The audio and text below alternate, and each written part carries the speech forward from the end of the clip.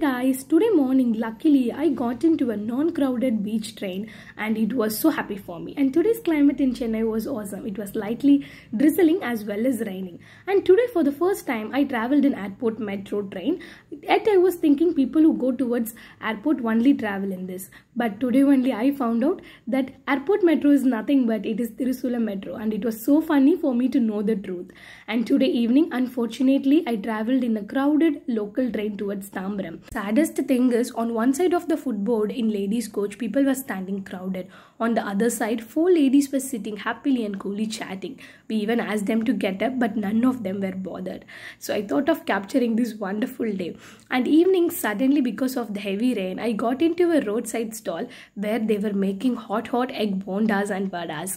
The smell was tempting me to eat, but unfortunately, a minute before I had a tea and samosa. But the smell was so nice, and I captured this wonderful video. So today was a wonderful experience, and so yeah, be positive. Bye bye.